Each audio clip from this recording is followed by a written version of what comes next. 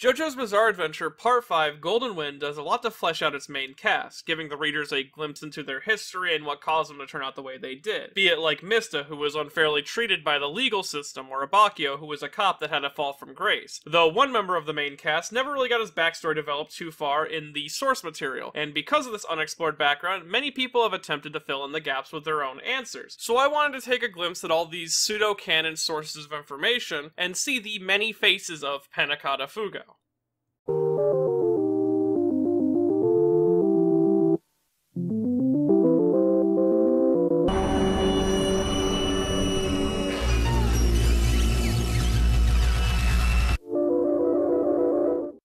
So before we get too into other works that expand on Fugo's backstory, we should first start by understanding the little bit that we do get from the source material, as everything we're going to be looking at throughout this video is built off this little bit of information that we get. And this information comes from chapter 479, where Aluso reads his profile report on Fugo, which lists that he was born to a rich family, was incredibly smart and entered college at the age of 13, had anger management problems and lashed out a lot, in one case he picked up a 4 kilo dictionary and beat the hell out of one of his professors, and from that day on, his life had been falling apart, leading him to join a gang and become part of Bruno's team. And on top of all that exposition, other aspects of Fugo's personality we can pick up from the source material itself comes from his stand Purple Haze, as all stands in the series tell you a little bit about their user. Fugo's key points being that Purple Haze is uncontrollable for the most part, it is needlessly destructive while also being short-lasting. So we know that the rage that he has inside is likely something that Fugo's been dealing with his whole life, and it comes in short bursts, which are dangerous for everyone involved, including himself, because he's not immune to his own stand's ability. And that's everything we have on him regarding his backstory, as post the Mystery of the King Crimson arc, Fugo is fully written out of the story, as Araki did this because he didn't want to go through his original plans to make Fugo a traitor. Though in him admitting that he didn't want to go through with his original plans for Fugo, that implies that there were plans, and likely these plans would have come with a backstory for the character that we would have seen in a similar flashback to the rest of the cast, which is something you can make a fair assumption of given how Araki writes characters and gives them these long, elaborate backstories and character profiles that sometimes we don't even get to see.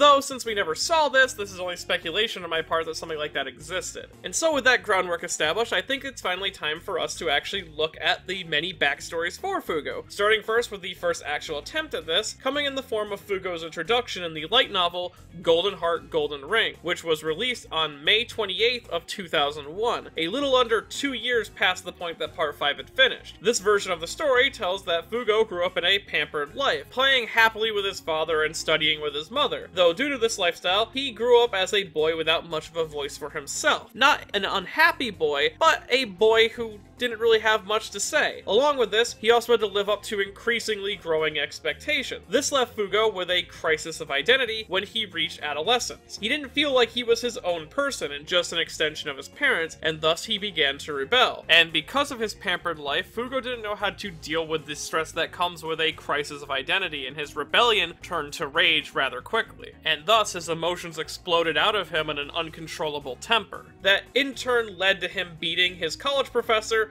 and destroying his life. Along with this, we get a nice glimpse at Fugo's life post him getting expelled from college. We learn that Fugo's parents actually begged him to continue his studies and tried to get him in multiple colleges, but the day that string snapped in Fugo, he became a hair trigger, freaking out at the smallest things until eventually he drove away all of his friends, and soon he would even cut contact with a family that actually seemed to care about him and joined the underworld, likely in an attempt to try to find some person or some group that could use his rage effectively. But even here, his teammates didn't like working with him because they didn't consider his intelligence worth dealing with his near split personality. And again, he found himself friendless and a nuisance to the gang. And this is when Bruno appeared, offering Fugo a hand in friendship and taking him under his wing, likely to protect the boy from a fate worse coming his way if he were to remain down the path he did. And this version of the backstory, while simple, I think is really nice and works very well with Fugo, and plays into the idea that Fugo has a habit of accidentally pushing away those he's the closest to, eh, be it his school friends, his family, and now even his former gang members. His personality also never allowed him to get close with anyone, and this is likely why Bruno, when he reached out to him, caused Fugo to be so conflicted on the choice on whether to betray the gang or betray his friend. Also, the novel expands on his his role past the point of his exit in part 5 and paints him as sort of someone who made a tough call but doesn't regret it and fully believes in his friends and supports them. He just realizes that it's not a call that he could have made. Overall, Golden Heart Golden Ring is a very clean wrap up for Fugo's story, and the reason that it works so well is because aspects of Araki's abandoned ideas for Fugo were actually reutilized in this novel, making it the closest to canon that we'll probably get in this video. Next up, we have Shameless Purple Haze, released on September 16th of 2011 and was part of the Versus JoJo 25th anniversary event. This story not only covered the future events of Part 5, but goes into detail about Fugo's backstory as he is the main character of the story, starting first by giving him a completely different family dynamic to work with than what we saw in Golden Heart Golden Ring. Here, Fugo's family wasn't actually rich to begin with, but their obsession with titles and gaining status in society caused them to gain wealth in an abstract way, with his grandfather marrying Fugo's father off to a bankrupt noble for their title, and his father had three sons, and the only one who actually showed signs of being gifted was Fugo, and thus his family's desire for status began to build pressure onto Fugo, his young heart barely able to take the constant expectations for success that his family was establishing for him. And while he was very smart, he found himself limited by the fact that he felt very apathetic about his own success, often believing that he would never achieve anything great or anything as great as the old great ones, and whenever he tried to express this sentiment, his tutor and his family would ignore it and continue to pressure him, only causing more stress to build in Fugo's mind. And the only escape that he had from this stress came in the form of his grandmother, who was the only person he knew that treated him like a normal person. Though, given that his grandmother was from common birth, her family didn't much care for her outside of Fugo. She was only kept in the family because divorce would have lowered their class in society, and while away studying at college, she passed away, leaving Fugo heartbroken and dropping in his studies Along with this, he was desperate to get home for her funeral, but his family denied it, and his professor called his desperation childish. And it was that statement that caused Fugo to snap, savagely beating the professor with the dictionary, letting out years worth of frustration in a single moment. And this outburst caused his family to permanently cut ties with Fugo, denouncing their son in order to hold on to their title and status, leaving him to rot in prison. And it's in this prison that he is visited by Bruno, a man who was very open with Fugo, saying that he was looking for him due to his talents, but he would also treat him like a person. And this genuine kindness and interest in Fugo caused him to become strictly loyal to Bruno. And it's this version of the backstory that used to be my personal favorite. I feel like it gave Fugo's rage a sympathetic side to it and stuck to the themes and aspects of society negatively affecting the main cast. Though I feel it doesn't tie Fugo's anger enough into his character and only makes it come out in extreme emotional cases, which isn't the case at all. As we know, Fugo, from his little interactions that we see in the story, is a naturally angry person and is dealing with a inner rage most of the time, especially when he's dealing with the most mundane things. I mean, his introduction is stabbing Narancia in the face because he got a math problem wrong. So I don't feel like tying his rage to extreme emotional outbursts was the best decision. Though for the most part, the rest of Shameless Purple Haze makes up for any lackings I find in this aspect of his backstory, as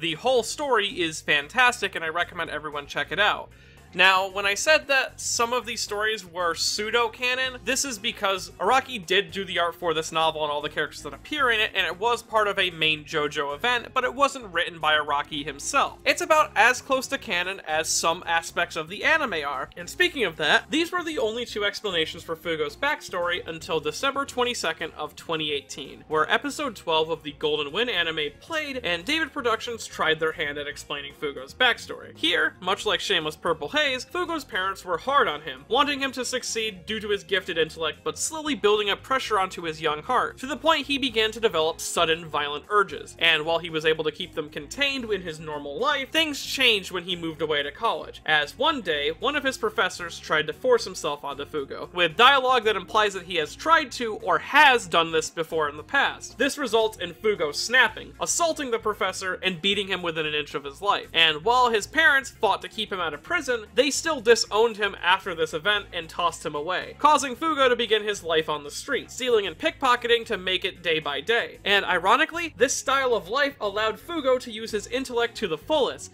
even being able to bring up obscure court cases to dismiss any blame that he might receive for dying and dashing. And Bruno took great interest in a child like this and wanted to use his gifts for his team. And Fugo, while warning him of his anger problems, gets mostly ignored by Bruno, saying that he'll just deal with it when it comes up, treating him kindly even without knowing him. And that is a culture shock to Fugo, given the group of people he grew up around. And given this backstory comes from an anime adaptation, so unlike the other two, we don't get to see what Fugo is like post his leave, but we do get to see a final goodbye for him during Narancia's passing. And while I do like aspects of this backstory for Fugo, as it does a good job showing Fugo being pulled down wrongly by society, as he is the one blamed when his professor forces themselves onto him. But I feel like it really misses the point of Fugo's underlying rage, as it more justifies it and sets it to a certain moment, and it doesn't feel like something that he's fighting to keep under control. His action in that scene makes him just, which kind of misses the point of his underlining rage that comes at very unjust moments. And the fact that his stand is uncontrollable doesn't really fit with that backstory. Along with missing the point that everyone in part 5 is in the position they are in because of a choice they chose to make instead of an action that they were using to defend themselves.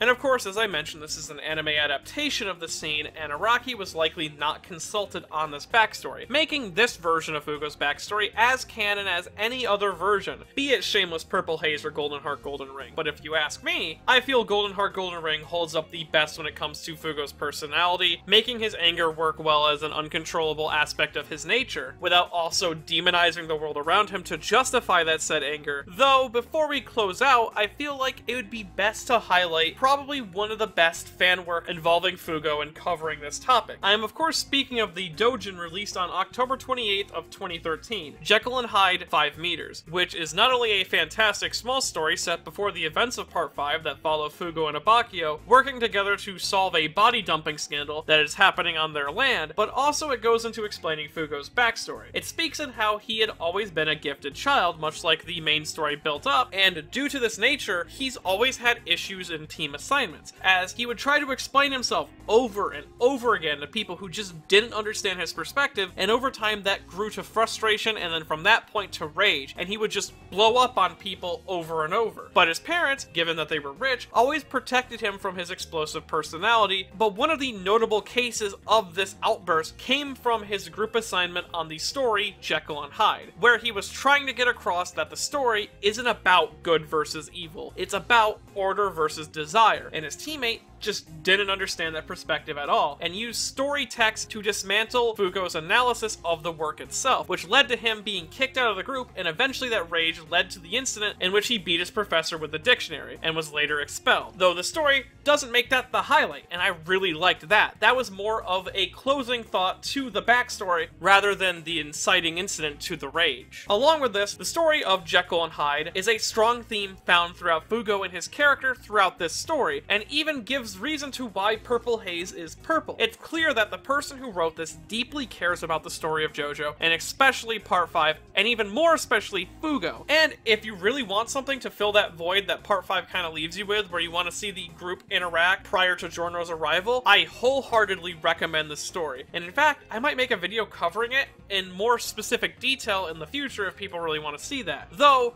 this does bring up the fact that Fugo's role is very unique to the series, and a lot of people have latched onto it and produced lots of interesting fanworks around his past and his future and his unused role in the story, and that's great, and that's what makes Fugo such an interesting character, and I could honestly talk about him so much. In fact, I've talked about him a lot. I've talked about him like three times. I have like, I have a lot of videos on Fugo. I guess it's pretty obvious that I find his case very fascinating. And if you did enjoy this video and want to see more videos like it in the future, I have a Patreon at patreon.com slash metinotthebadguy. And if you want to see my alternate history, well, you can do so by heading to buyshimoneta.com and buy a copy of Shimoneta.